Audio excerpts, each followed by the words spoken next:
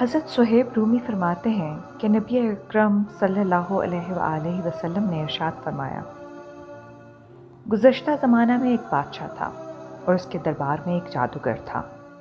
जब वह बहुत बूढ़ा हो गया तो एक रोज़ उसने बादशाह से कहा, मैं अब बूढ़ा हो गया हूँ और मौत का वक्त करीब है।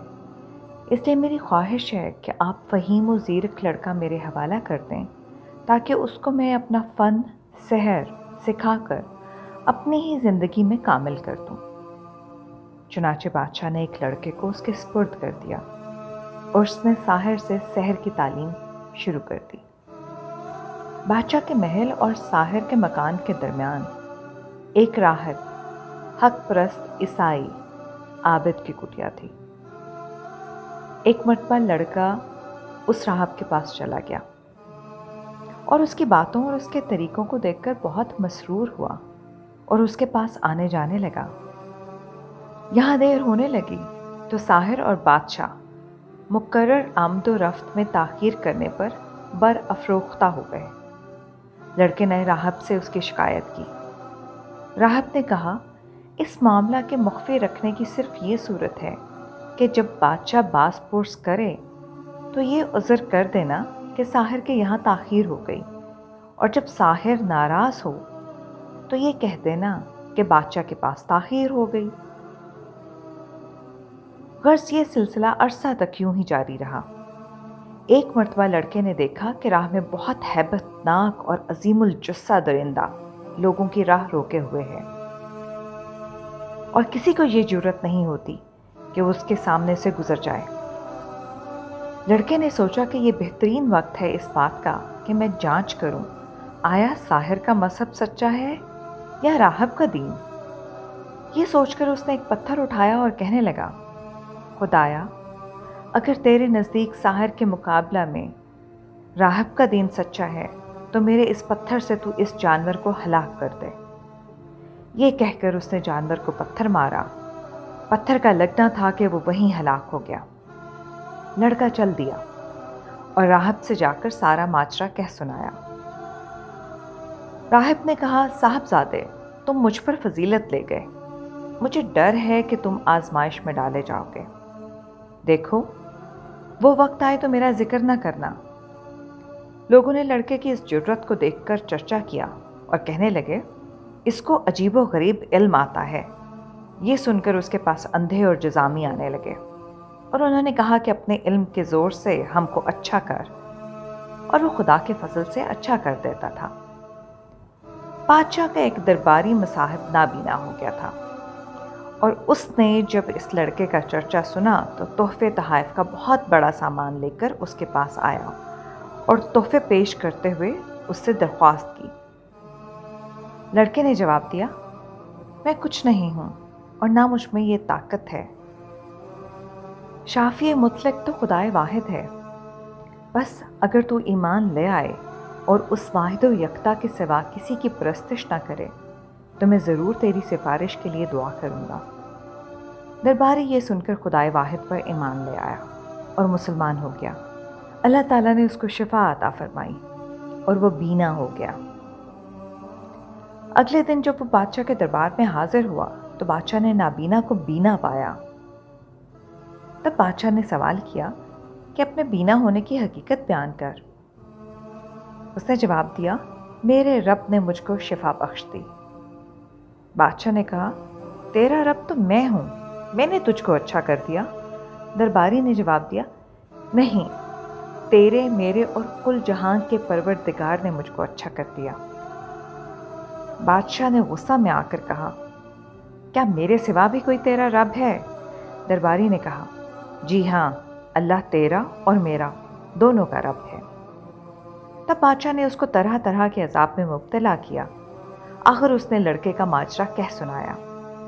बादशाह ने लड़के को बुलाया और उससे कहा, बेटा, मुझे मालूम हुआ है कि तू शहर के ज़रिए से अंधों को बीना और मबरूस और जजामी को शिफा देता है। लड़के ने कहा, मुझमें ये ताकत कहाँ? ये तो अल्लाह ताला के शिफा देने से शिफायाब होते हैं। बादशाह ने कहा, क्या मेरे अलावा भी तेरा और कोई रब है?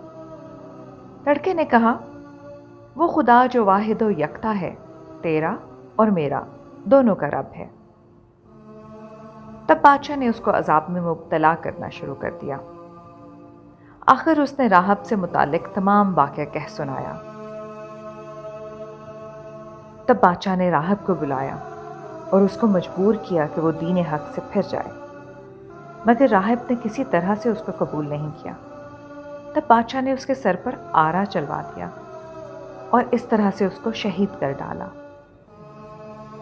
अब लड़के से कहा कि तू राहब के दिन से फिर जा। लड़के ने भी साफ़ इनकार कर दिया। बादशाह ने हुक्म दिया, इसको पहाड़ की चोटी पर ले जाकर वहाँ से गिरा दो कि पाश पाश हो जाए। जब सरकारी आदमी लड़के को पहाड़ पर लेकर चढ़े तो लड़के ने दुआ की, इलाही तो इन लोगों के मुकाबला में मेरे लिए काफ़ी हो जा। चुनाचे उसी वक्त पहाड़ जलजिला में आ गया और सरकारी आदमी गिरकर हलाक हो गए और लड़का सही और सालिम बचकर बादशाह के सामने हाजिर हो गया। बादशाह ने ये देखा तो कहा, तेरे साथ वाले कहाँ गए? लड़के ने कहा, खुदा ने इनके मुकाबला में मेरी मदद की। तब बादशाह ने गजबनाक होकर हुक्म दिया कि इसको ले जाओ और दरिया में ले जाकर इसको गर्क कर दो। सरकारी आदमी जब उसको दरिया के बीच में लेकर पहुँचे तो लड़के ने फिर वही दुआ की। खुदाया, इनसे मुझको निजात दे। फ़ौरन ही दरिया में जोश आ गया और वह सब गरक हो गए। और लड़का फिर बच गया, और सही तंदुरुस्त बादशाह के सामने जा खड़ा हुआ। बादशाह ने फिर सवाल किया, और लड़के ने फिर वही जवाब दिया। और इस मरतबा वो कहने लगा, बादशाह इस तरह तो तू हरगिज मुझ पर कामयाबी हासिल नहीं कर सकता। अलबत् जो तरकीब मैं बताऊँ, अगर उसको इख्तियार करे तो बेशक तू मुझको कत्ल कर सकता है। बादशाह ने लड़के से वो तरकीब दरियाफ्त की। लड़के ने कहा तो शहर की तमाम मखलूक को बुलंद जगह पर जमा कर। जब सब जमा हो जाए तो उस वक्त मुझको दरख्त पर सूली देना। और मेरे तरकश से तीर लेकर और ये पढ़कर मेरे सीने पर मारना। अल्लाह के नाम पर, जो इस लड़के का रब है, तब मैं मर सकता हूँ।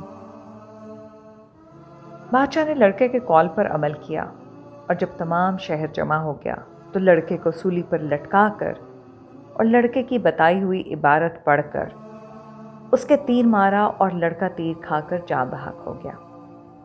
मखलूक ने यह देखा तो सबने एकदम बा आवाज़ बुलंद नारा लगाया। हम लड़के के परवरदिगार पर ईमान लाए और सब मुसलमान हो गए। दरबारी कहने लगे, बादशाह, जिस बात का तुझको खौफ था, आखिर वही होकर रही और ये तमाम रियाया मुसलमान हो गई। बादशाह ये देखकर जामा से बाहर हो गया।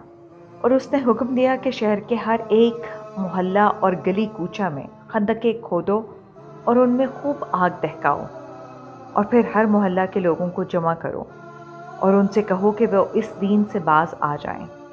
जो बाज आ जाए, उसको छोड़ दो और जो इनकार करता जाए, उसको दहकती आग में डालते जाओ लोग जौक तर जौक जमा होते थे और दीन हक से बाज ना रहने का इकरार करते और दहकती आग में बखुशी डाले जाते थे।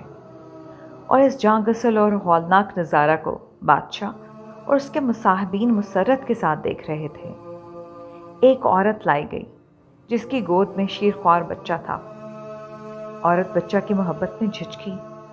फ़ौरन बच्चा ने कहा, माँ, सब्र से काम ले और बेखौफ खंदक में कूद जा। इसलिए कि बिलाशुबा तो हक पर है। और ये जालिम बातिल पर है। अहले शहर ने जब लड़के और बादशाह के दरमियान जंग का ये नज़ारा देखा तो वह सब सदके दिल से खुदाए वाहिद पर ईमान ले आए और मुशरफ ब इस्लाम हो गए और उन्होंने सच्चाई के साथ हज़रत ईसा और इंजील के अहकाम की पैरवी को अपना दीन बना लिया। चनाचे नजरान में नसरानियत के हकीकी और सच्चे दीन की बुनियाद इसी वाक़ से पड़ी।